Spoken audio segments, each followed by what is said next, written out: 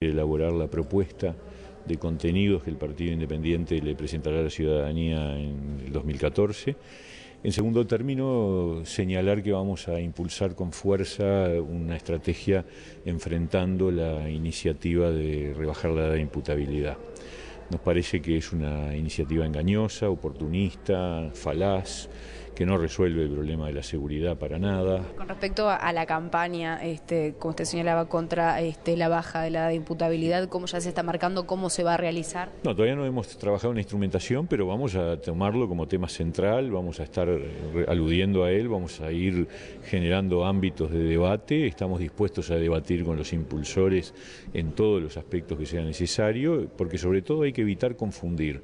Una cosa es luchar por la seguridad, yo estoy dispuesto a luchar por la seguridad y a tomar las medidas, y de hecho el partido tiene propuestas bien concretas para recuperar los niveles de seguridad. Otra cosa es hacerle creer a la gente que la seguridad depende de que los menores de 16 y 17 años sean imputables. Eso me parece que es un, simplismo totalmente equivocado e injusto.